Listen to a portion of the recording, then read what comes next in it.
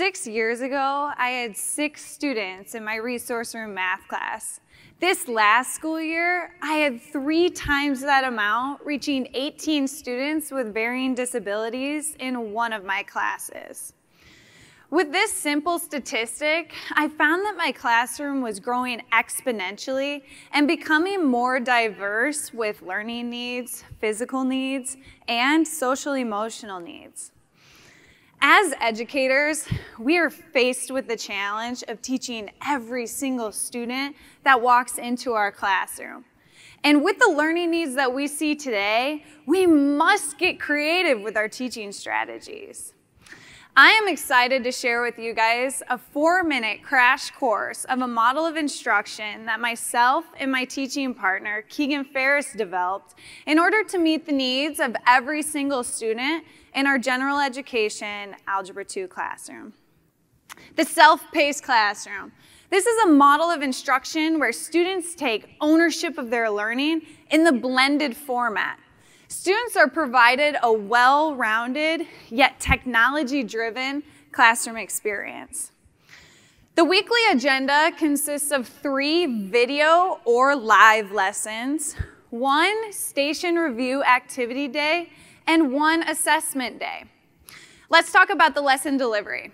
Monday through Wednesday, students are awarded the opportunity to learn from a video instruction or live instruction.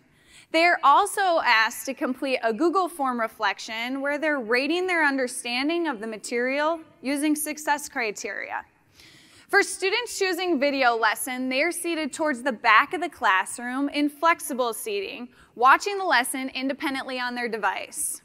Videos are created using Edpuzzle with guided questions throughout and self-reflection at the end. For students choosing live lesson, they are seated towards the front of the classroom, receiving traditional classroom lecture from the educator.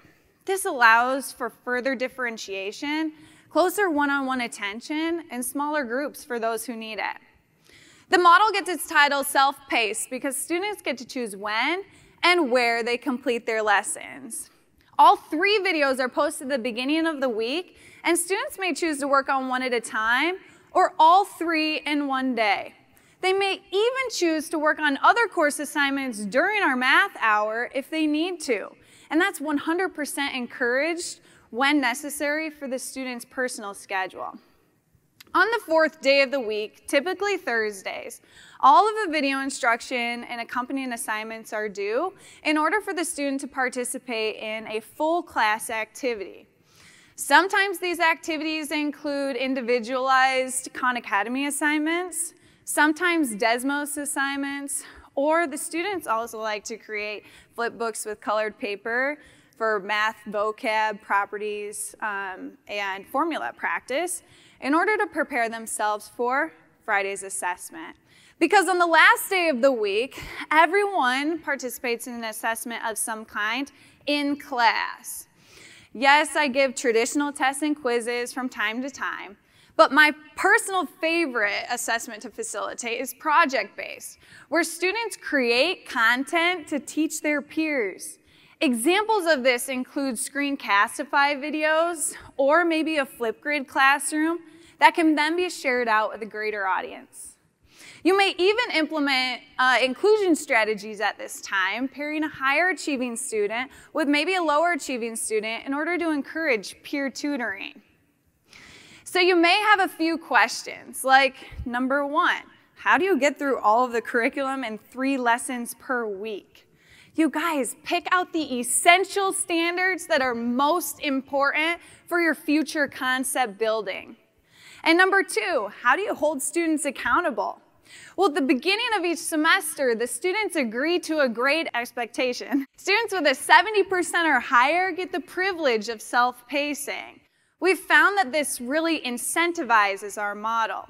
The self-paced classroom has refreshed the outlook that students have on the traditional brick and mortar education. We've found that it decreases stress levels while increasing skills of independence, time management, organization. And I have found that this truly has revolutionized my ability to teach every single learner that walks into my classroom.